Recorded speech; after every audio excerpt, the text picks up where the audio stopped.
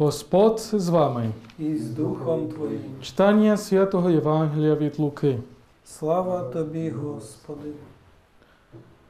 Того часу, коли Ісус наблизився і побачив місто, то заплакав над ним, кажучи: Якби ти зрозуміло, хочу цей день, що потрібне для Твого миру. Тепер же це сховано від очей твоїх, адже прийдуть на тебе дні, і твої вороги оточать тебе валом, візьмуть тебе в облогу, тізнімуть тізнитимуть тебе звідусіл, повалять на землю тебе і твоїх дітей у тобі. Не залишать каміння на камені в тобі, бо не зрозуміло ти часу своїх відвідин. Слово Господнє. Слава Тобі, Христе. Нам може здаватися, що ці слова Ісуса Христа це не, е, скажімо так, важкі слова, щоб зрозуміти, про що йде мова. По-перше, про яке місто говориться тут. Пам'ятаєте те, що ми вчора вже говорили, е, що Ісус розповідав цю притчу про міни, що Він роздавав притчу про, про короля, котрий е, йшов до міста, щоб стати царем е, своїх, е, скажімо так, земель. І що він роздавав тоді, е, якщо ви пам'ятаєте, міни, тобто гроші людям, е, щоб вони під час його відсутності заробляли ще більше. Щоб знати е, про, е, скажімо так, здібність людей, котрі проживають на його землях, щоб потім може робити його чи князями, чи іншими такими великими людьми в королівстві. І він казав Євангелію вчора, що він йшов до Єрусалиму. Так що те місто, про котре сьогодні говориться, це є власне Єрусалим. Вчора ми також і говорили, що Ісус попередив, попередив нас, як ми живемо і як ми хочемо жити. І саме тому і для цього розповідав нам ту притчу, як ти живеш зараз. І нам також може бути, і вчора здавалося, що Ісус Христос, скажімо так, трохи жорсток, жорсток, ой, жорстокий до нас, бо ми звикли до того бачити, що Він чи милосердний, чи робить чудеса. А і вчора, і сьогодні ми чуємо такі слова, скажімо так, сильні. Твої вороги оточать тебе валом, візьмуть тебе в облогу, повалять на землю тебе і твоїх дітей у тобі. Не залишать камення на камені в тобі. Ми не звикли до таких слів від Ісуса Христа. Інколи, і це є спокуса наша, також ми в релігії, скажімо так, шукаємо потіху, щоб нас да, потішали. Да? І тому деякі також, скажімо так, і оскорбляли, і оскорбляють релігію.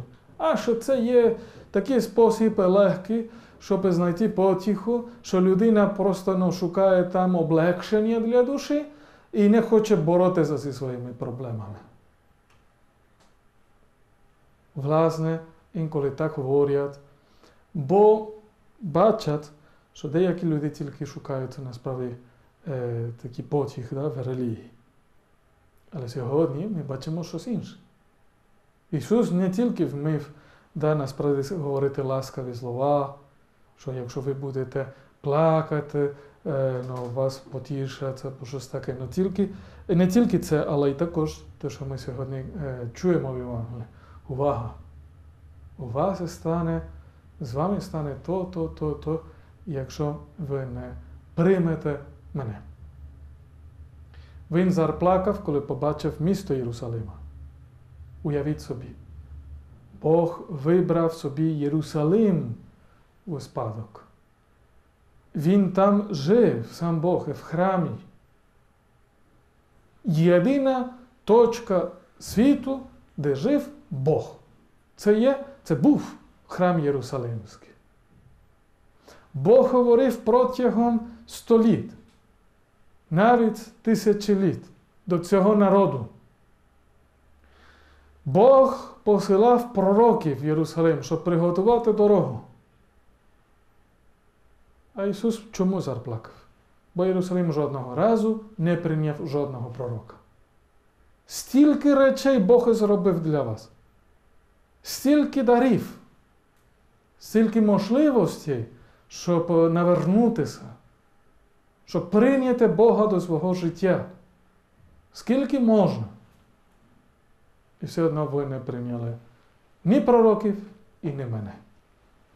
І Ісус Христос, дивіться, бо також Він не такий жорстокий, що йому байдуже. Ну ладно, ви раз мене не прийняли, то все. Я знищу це місто, руїна для всіх, немов він потім хоче ну, помств.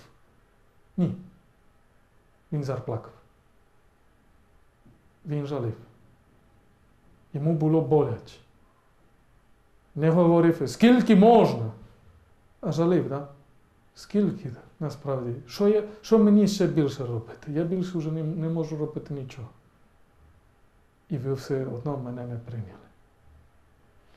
І заплакав. Йому було, правда, боляче. Святе місто, Єрусалим, місто, де живе сам Бог і не приймає свого Бога. Не хоче. Хоче жити, як є вже. Не хоче навернутися. На що поміняти своє життя?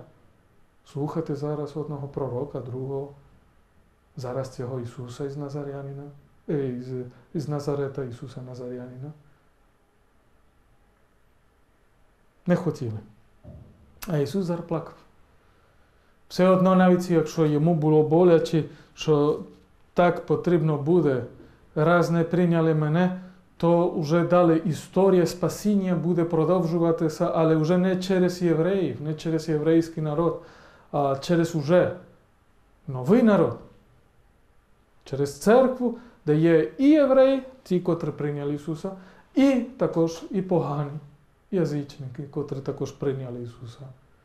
Тобто зараз ця історія спасіння буде продовжуватися не через вибраний народ, а через новий вибраний народ.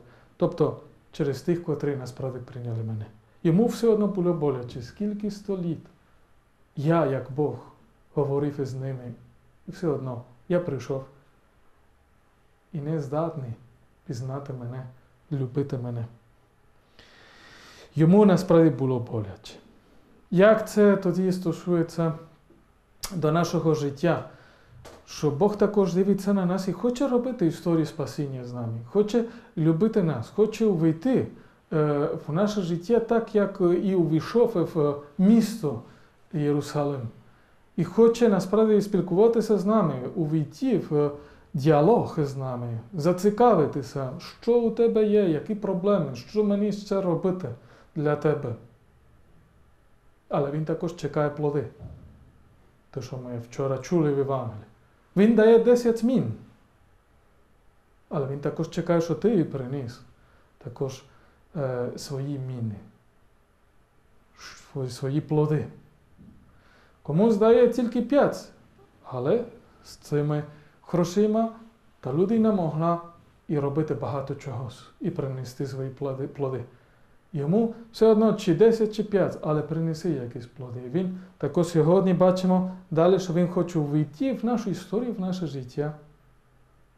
Що я можу ще робити для тебе з тобою? Але він чекає також від нас плоди.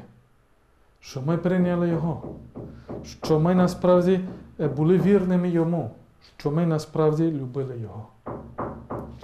Хай Господь Бог допоможе нам тоді сьогодні прийняти Ісуса Христа в наше життя, відкрити двері для Христа, а не як Єрусалимське місто, що було е, замкнуте для, для Христа. Давайте відкриємо двері для Христа, як говорив також святий Папа Ян Павло II, не е, лякайтеся відкрити двері, не бійтеся. Бо тоді, коли Ісус приходить, Вколо нього є тоді вже і радість, і щастя, і спасіння.